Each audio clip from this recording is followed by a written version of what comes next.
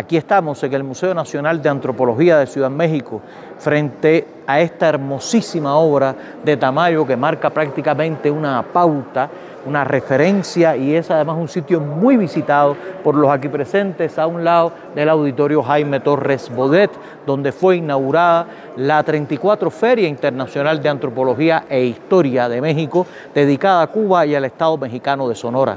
Tengo una exclusividad para ustedes para esta 34 fila. Vamos a atravesar, estamos en plena organización, como ustedes ven, del evento. Este es un sitio donde ahora mismo están ocurriendo conferencias. Muchas gracias y sobre todas las cosas quiero llevarlos a esta exposición que es una exposición de fotografía mano a mano del fotógrafo mexicano eh, Ricardo León, Rostros de la Diversidad, y del fotógrafo cubano Ángel Larramendi. Julio Ángel Larramendi justamente se nombra la cubanía. Miren ustedes qué bello este preámbulo para esta exposición de la 34 Feria Internacional de Antropología e Historia. Está por supuesto en su puerta el símbolo importantísimo de este evento que ya está ocurriendo. Y por eso quiero mostrarles esta exposición y que hable su protagonista cubano, Julio Larramendi, Ángel Julio Larramendi, que les cuente cómo hizo posible esta exposición de más de 100 fotografías de rostros de cubanos. Ahí verán ustedes la alegría de nuestro pueblo, nuestro sentido de la resistencia creativa y el hecho de no rendirnos nunca. Así que los invito a pasar. Bueno, realmente Alexia ha sido una sorpresa. Estoy entrando a verla ahora mismo. Eh, estoy emocionado.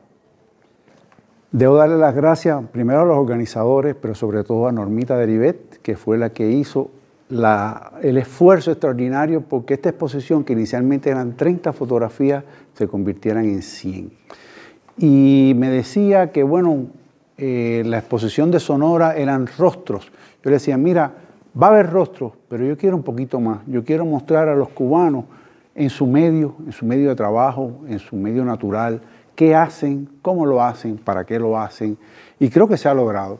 Es una exposición que aspiro circule por varios países latinoamericanos para llevar este pedacito de nuestra cultura a esas ciudades, para que los latinoamericanos vean quiénes somos. No esa imagen que dan en Miami eh, sobre pobreza, miseria, no, no, esto es mucho más.